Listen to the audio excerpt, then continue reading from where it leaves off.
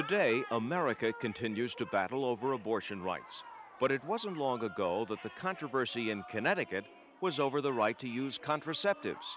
Before 1965, it was illegal in Connecticut to prescribe, sell, or use any birth control devices. Contraceptives, along with obscenity and abortion, were outlawed by the Comstock Law, passed in 1879. Although the contraceptive ban was widely disregarded by doctors and condoms were available under the drugstore counter, for poor people, birth control advice was unavailable. The successful fight to overturn these laws led to widespread repercussions. So women who had enough money for private health care were getting help. Women who didn't have enough money for that and had to go to the clinics at the hospital were unable to get that kind of help. In 1923, New York City birth control activist Margaret Sanger inspired Mrs. Thomas Hepburn and two other Hartford women to found the Connecticut Birth Control League, later to become Planned Parenthood of Connecticut. For two sessions, I believe it was, between 23 and the time we opened the clinic, at least two or three sessions, bills were submitted uh, to try and change the Connecticut law. They were defeated, and it was largely on a religious basis. Hepburn and her supporters continued their legislative efforts. Then in 1935, the League openly defied the Comstock Law and opened nine clinics in the state to offer information, condoms, and diaphragms. A woman had to be at least 18 years of age, to be married, to have at least one child, and to be recommended by a doctor, a minister, or a social agency. And then, unfortunately, in the 30s, late 30s, our Waterbury Clinic was closed. The Waterbury Clinic was closed, the police raided the clinic, there were arrests made, and at that point in time, a decision had to be made around the other clinics. So it became evident that this would probably happen all around the state to the other clinics and our lawyers on the board advised us to close in 1940 then. That was, we had been opened almost five years. I think some wanted to continue. I know Mrs. Hepburn did. She thought it would be just great if we went to prison and so forth. But by that time, I was married and had two children, and my husband was in active practice, and we somehow weren't very anxious to find me in prison for a couple of years. So we did close the clinic. But we did proceed then to continue trying to change the law in the legislature.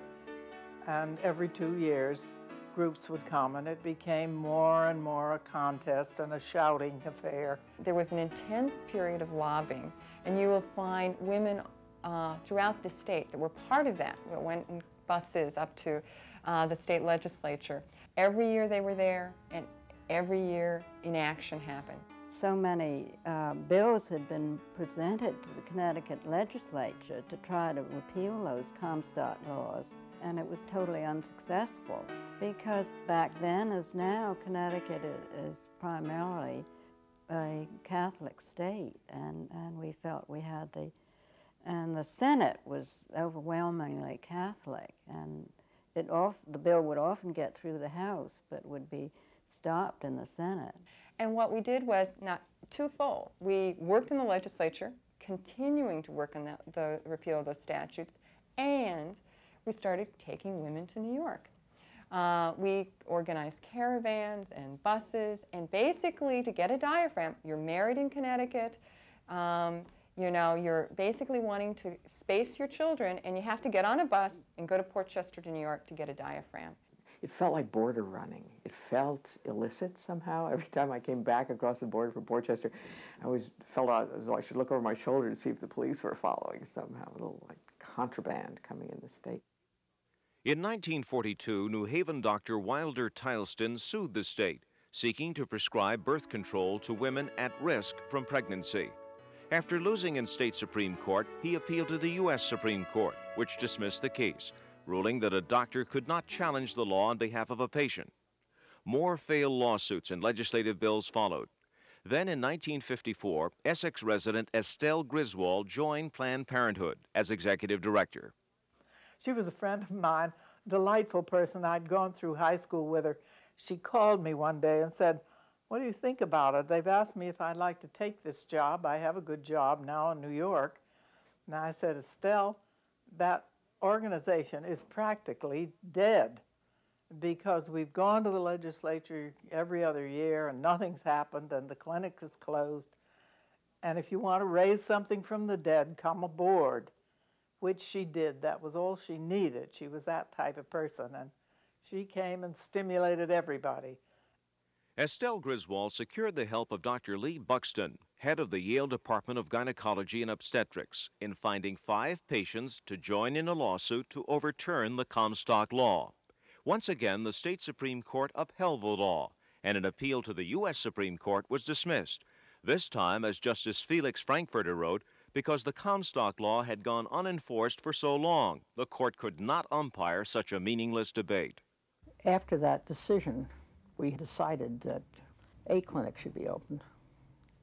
That if, in fact, there was no prosecution, then, then we would go ahead and open clinics in other communities, but the first one was going to be in New Haven.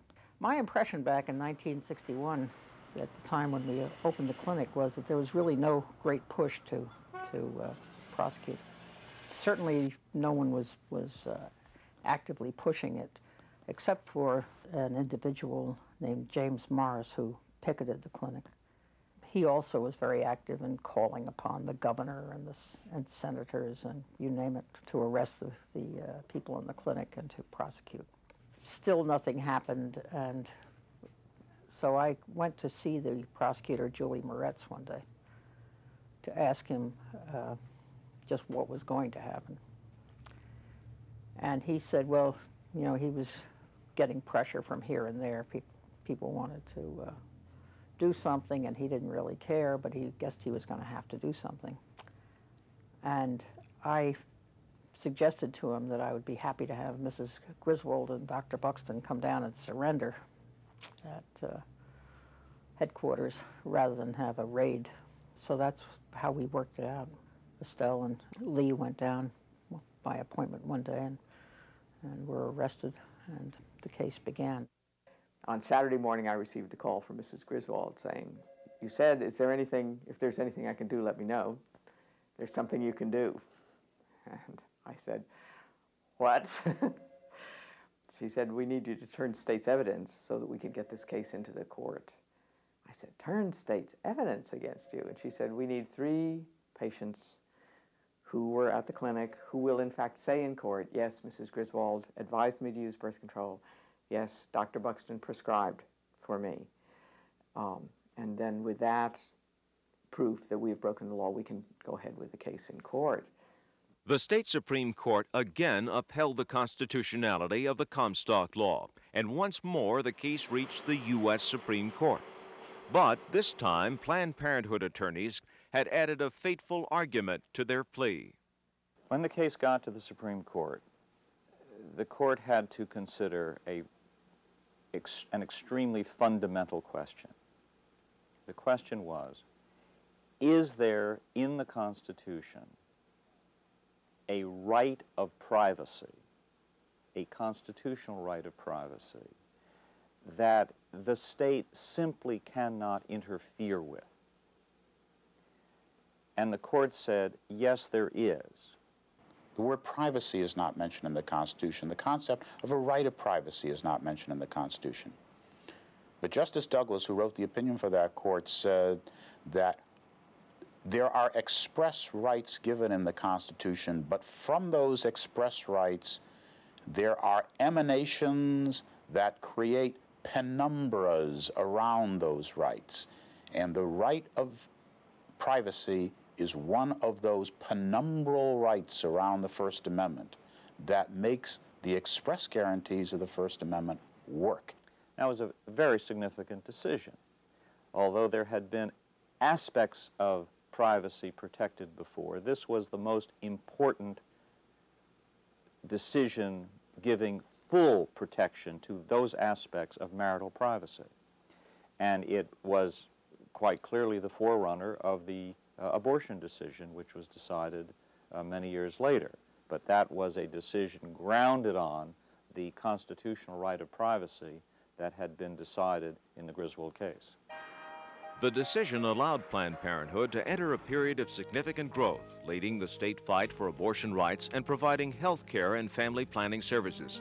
Today, its clinics provide education, counseling, and medical services, including about 3,000 abortions to more than 51,000 clients each year. In 65, the decision comes. About the time the pill is coming into usage, there's much discussion around fertility, and you'd find the first national family planning money. And so with that consciousness on a national level came an acceptance that birth control is a public good. For Planned Parenthood of Connecticut, you go from one clinic to where we are now, 20 clinics.